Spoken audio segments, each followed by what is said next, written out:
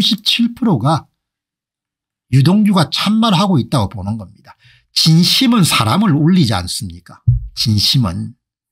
거짓은 사람들이 잘 알아채지 않습니까 허리멍텅한 사람은 거짓에 쏘가 넘어가지만 유동규의 인터뷰를 보면서 아, 이 양반이 진짜 감옥에서 생각 많이 했구나.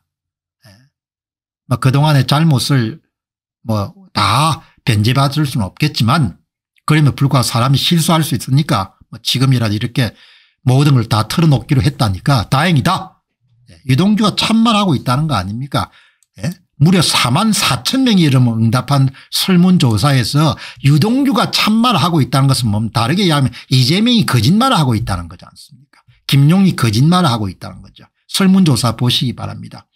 성남시장이 한 거지 유동규가 한 겁니까 유동규 수차례 재판정은 본인 포함해 가지고 유동규 측 변호인들이 그렇게 이제 재판에 정을 한 거죠. 바로 어제입니다. 여러분께서는 유동규가 진짜 참말을 하고 있다고 보십니까 그게 물은 겁니다. 4만 4천 명이면 보통 여러분들 여론조사보다 44배 정도의 많은 사람이 참여한 겁니다. 유동규가 거짓말을 하고 있다는 3%니까 2점 몇 프로가 나온 겁니다. 유동규가 참말을 하고 있다는 것이 97%입니다. 그러니까 진실은 다 사람을 감동시키는 겁니다. 유동규 인터뷰를 조금이라도 접한 사람들은 아, 이 양반이 진짜 정신 차렸구나. 예, 좀 처근하지만 참 그래도 사람이 뭐 그렇게 나쁜 사람이 아니구나. 이렇게 사람들이 대부분 생각하는 겁니다. 4만 4천 명이 참여해 가지고 97%가 유동규가 참말이란 것은 굉장히 중요한 의미를 갖고 있습니다. 이것은 뭘 이야기하는 거 아니까 아주 많은 사람들이 예, 이 사건의 전모의 중심에 누가 있는지를 분명히 알고 있다는 겁니다. 그 민경욱 전 의원이 페이스북에 글을 올렸네요. 민주 당사가 압수수색을 당할 위기에 처하자 이재명이 울었다고 합니다. 부모님이 돌아가셨을 때 빼고 나이 든 남자가 눈물을 보인다면 그건 대개 뭔가 매우 두려운 일이 다가오고 있다는 얘기입니다. 그가 감당 못할 일에 대한 공포가 그를 강타한 것입니다. 이재명 당대표에게 물어본 적이 없으니까 뭐 정확하게 확인할 수는 없죠. 민경욱 전 의원의 의견이 남자가 눈물을 그렇게 흘리는 게 아닌데 어마어마한 공포가 자신을 짓누를 때 그렇게 눈물이 나오는 법입니다.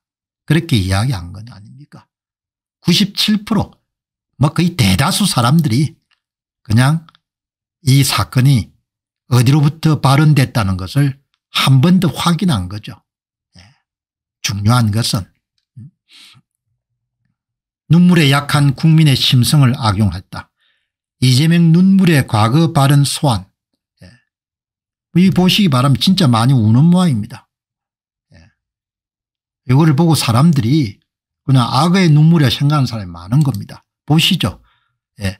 이동 유동규 힘내시기 바랍니다. 진실은 두려운 게 없습니다. 국민이 다 듣고 있습니다. 예.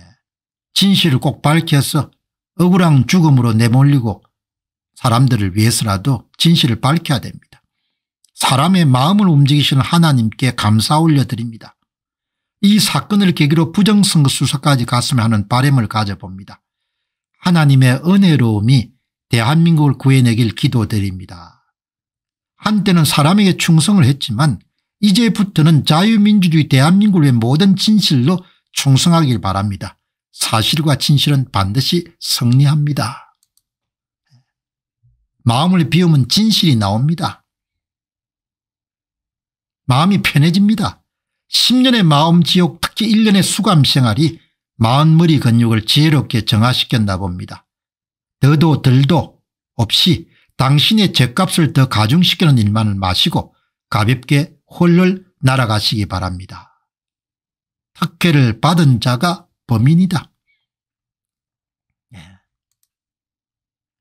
측근 조력자에게 책임을 미루다니 애초에 양아치 기질만 있고 리더의 덕목과 자질은 없었는 듯합니다. 유동규가 거짓말을 할 이유가 전혀 없습니다. 유동규도 안 거죠. 결국은 이용당하고 자신이 다 뒤집어 쓰고 평당할 것이라는 사실을. 진실은 살아 있습니다. 예, 이런 이야기를 세상 사람들이 다 하는 겁니다. 예, 세상 사람들이 다 하기 때문에 예, 사람들이 여러분들 이렇게 답하는 겁니다. 거의 뭐 100% 사람들이 뭐죠 유동규가 사실을 이야기하고 있다. 이동규가 참말을 하고 있다. 이렇게 보는 겁니다. 이걸 어떻게 막겠습니까 4만 4천 명이면 어마어마한 숫자입니다. 여론조사 기관에서는 천명 정도를 실시하지 않습니까 그래서 며칠 전에 실시했던 여러분 그까 한번 더 재개해 보니까 하루 전에 비슷한 내용을 다른 형식으로 했네요. 대한민국 화약고 유동규 모든 것을 밝힐 것으로 보입니다. 그분이 이번에도 미꾸라지처럼 빠져나갈 수 있을 것으로 봅니까 5만 9천여 명이 투표를 했고 95%가 이번에는 힘들 것으로 예상합니다. 이번에는 힘들 거로 보는 겁니다. 이번에는 검찰 조직도 여러분들 이번에 그냥 뭐 적당히 못하면 은뭐 굉장히 비판을 많이 받겠죠.